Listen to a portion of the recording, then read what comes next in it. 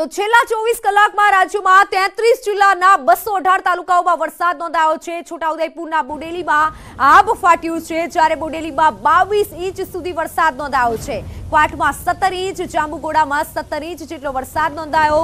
જેતપુરના પાવીમાં સોળ ઇંચ જેટલો વરસાદ નોંધાયો છે. જ્યારે છોટાઉદેપુરમાં તેર ઇંચ, વઘઈ ડાંગમાં અગિયાર ઇંચ અને ધરમપુરમાં નવ ઇંચ જેટલો વરસાદ નોંધાયો છે. અમદાવાદમાં નવ ઇંચ સુધી વરસાદ નોંધાયો છે.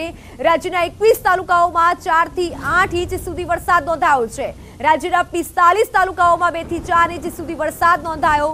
જ્યારે રાજ્યમાં સિઝનનો છત્રીસ ટકા વરસાદ હાલ સુધી નોંધાઈ ચૂક્યો છે. મહત્વનું છે કે રાજ્યની જો વાત કરવામાં આવે તો સર્વત્ર હાલ મેઘમહેર જોવા મળી રહી છે. અમદાવાદમાં નવ ઇંચ સુધી વરસાદ પડી ચૂક્યો છે. જ્યારે એકવીસ તાલુકાઓમાં ચારથી આઠ ઇંચ સુધી વરસાદ નોંધાયો છે અને આ સાથે જો વરસાદની વાત કરવામાં આવે, આગામી સમયમાં પણ વરસાદની આગાહી છે, તો બીજી તરફ રાજ્યમાં આ સિઝનનો છત્રીસ વરસાદ પડી ચૂક્યો છે.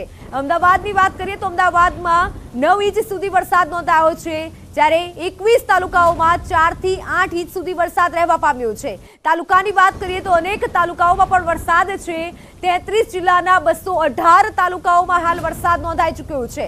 છોટાઉદેપુરના બોડેલીમાં આબ ફાટ્યું હોય તેવી સ્થિતિ સર્જાઈ છે. આપ સીધા જે દ્રશ્યો જોઈ શકો છો. છોટાઉદેપુરમાં આબ જે ફાટ્યું છે તેના દ્રશ્યો આપ જોઈ શકો છો.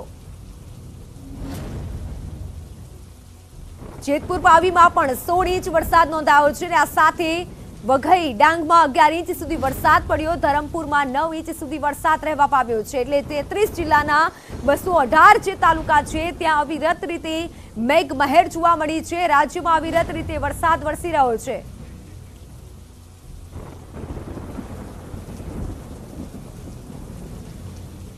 તો વલસાડમાં તે ચિંતાજનક